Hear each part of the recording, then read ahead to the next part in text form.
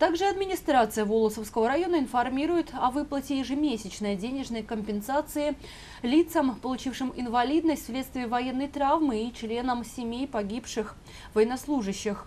В связи с принятием федерального закона о денежном довольстве военнослужащих и предоставлении им отдельных выплат – и постановление правительства Российской Федерации о финансовом обеспечении и об осуществлении выплат ежемесячной денежной компенсации. Право на выплату имеют граждане, пенсионное обеспечение которых осуществляется пенсионным фондом. К ним относятся военнослужащие или граждане, призванные на военные сборы, которым в период прохождения военной службы или военных сборов, либо после увольнения с воинской службы установлена инвалидность вследствие военной травмы а также члены семьи военнослужащего или гражданина, призванного на военные сборы в случае его гибели, наступившей при исполнении им обязанностей службы.